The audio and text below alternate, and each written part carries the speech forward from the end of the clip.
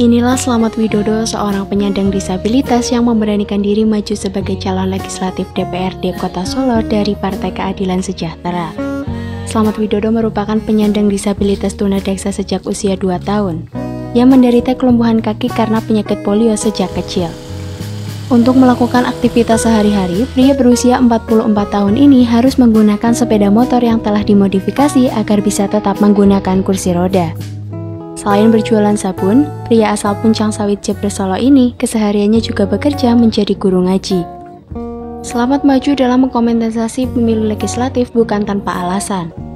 Dirinya ingin adanya perubahan dan ingin menunjukkan eksistensi seorang disabilitas. Meskipun kota Solo telah mencanangkan sebagai kota inklusi, namun baginya keberpihakan terhadap kaum disabilitas masih kurang.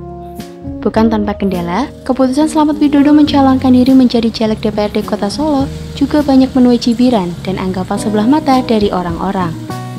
Namun hal ini tidak menjadikannya minder, namun justru cambukan bagi dirinya untuk membuktikan kepada semua orang bahwa kaum disabilitas juga bisa bermanfaat bagi orang-orang di sekitarnya.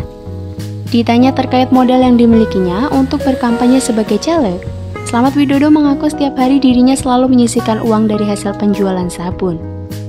Masuknya Slamet Widodo maju menjadi caleg di DPRD Kota Solo menjadikan dirinya satu-satunya caleg penyandang disabilitas. Dengan keberanian dirinya maju sebagai caleg, Selamat berharap pandangan masyarakat terhadap kaum disabilitas bisa berubah. Ya, yang pertama yang pasti saya ingin menunjukkan akses apa itu eksistensi seorang disabilitas di Kota Solo.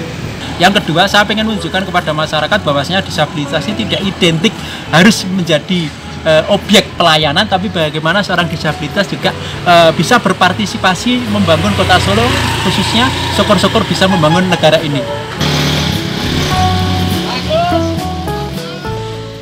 Heru Kristianto, Jogja TV